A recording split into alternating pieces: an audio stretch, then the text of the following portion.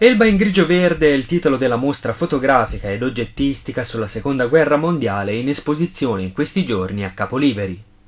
Ah, diciamo che quest'anno la particolarità è il fatto che c'è molta oggettistica oltre al materiale fotografico.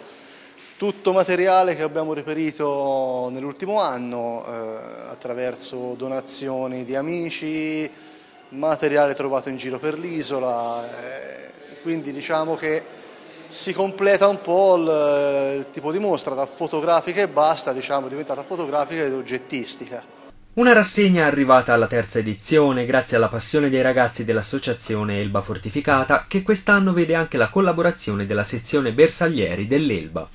Al dispetto di tanta gente che dice che all'Elba non c'erano bersaglieri, all'Elba c'erano e ci sono stati, anche che abbiamo testimonianze della bicicletta che ce l'ha donata la dottoressa Fratte dello Schiopparello e che il settimo reggimento bersaglieri era a Portoferraio. E questa è una testimonianza molto valida perché anche qui eh, quando si va nelle scuole si va a dire ai ragazzi i nostri caduti per la, per la patria sono caduti per fare l'unità d'Italia tutta.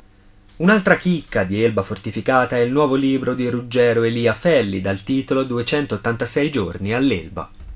Puoi leggere giorno per giorno gli avvenimenti, gli scontri a fuoco, tutto quello che è successo sull'isola d'Elba dall'armistizio allo sbarco. Eh, abbiamo recuperato foto eh, negli archivi di tutti i paesi coinvolti in, eh, nella guerra, quindi francesi, americani, inglesi, tedeschi, eh, i piani originali dello sbarco recuperati in Inghilterra e abbiamo messo diciamo, tutto insieme con eh, la storia dei bombardamenti di Portoferraio giorno per giorno con eh, i danni che sono stati provocati alla città di Portoferraio che è stata massacrata insomma, durante il conflitto. Ricordiamo a tutti gli amici di Teleelba che sabato 24 alle 18.30 presso il Bar La Vela a Portoferraio presenteremo l'ultimo libro di, di, Elba Fortificata, 286 giorni all'Elba e quindi vi aspettiamo numerosi per tutti i sostenitori dell'associazione.